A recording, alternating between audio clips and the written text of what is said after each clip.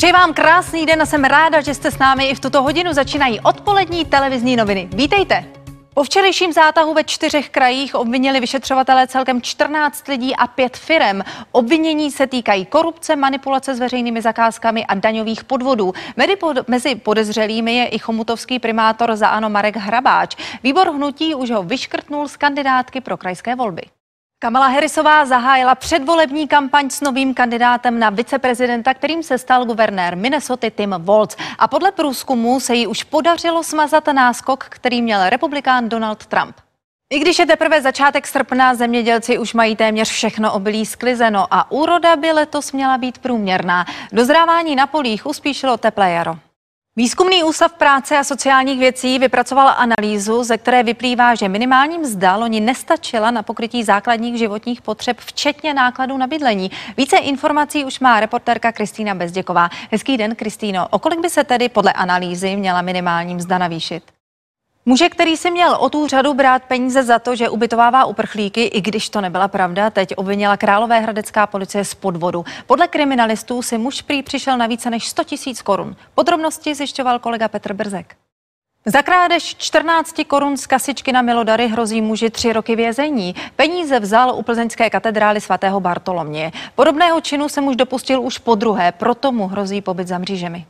O nové vlastní bydlení je v Praze stále větší zájem, a to i přesto, že ceny bytů rostou. Během prvního pololetí letošního roku se v metropoli prodalo 3,5 tisíce nových bytů. To je o 112 víc než ve stejném období loni. Policisté zadrželi v Ostravě řidiče, kterému naměřili téměř 4 promile alkoholu v dechu. Autem kličkoval, najížděl na obrubníka na jedné z nejručnějších ulic ve městě, dokonce najel i na tramvajový pás. Policisty na něj upozornila všímavá řidička, která jela za ním. Český hydrometeorologický ústav varuje před vysokými teplotami a silnými bouřkami. Vysoké teploty jsou zejména v Praze a středočeském kraji. Kontroverzní kampaň hnutí SPD před krajskými a senátními volbami pobouřila řadu politiků. Pražský radní a bývalý europoslanec Jiří Pospíšil teď dokonce na hnutí SPD podal trestní oznámení. Podle něj kampaň podporuje nenávist vůči rase a etniku.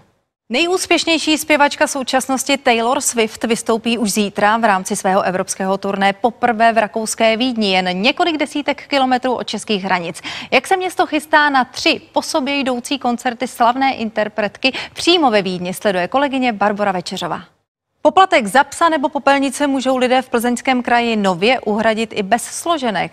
Kraj spustil pro obce a další organizace platební portál, který občanům umožňuje přímou platbu běžných poplatků. Více už Petra Staňová. Novým vůdcem teroristické organizace Hamas se stal Yahya Sinwar, který byl lídrem palestinského teroristického hnutí v pásmu Gazy. Nahradí tak Ismaila Haniu, který zemřel minulý týden při vzdušném útoku v iránském Teheránu bytě na pražských Vinohradech se včera zabarikádoval muž a držel tam ženu jako rukojmí. Vyhrožoval jí zabitím a následnou sebevraždou. Na místo proto zamířil policejní vyjednavač, aby se situaci pokusil vyřešit. Podrobnosti má Monika Všetečková.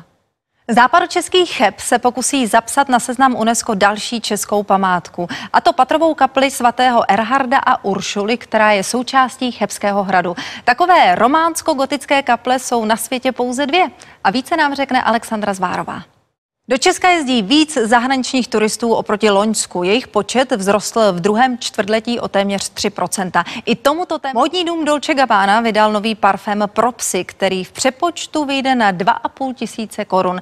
Nese název Fefe na počest pudla, kterého vlastní sám módní návrhář Domenico Dolce. A ode mě je to pro tuto chvíli vše. Za chvíli už jen se sportem a s Martinem se na vás budeme těšit o půl osmé v televizních novinách. Do té doby se mějte krásně.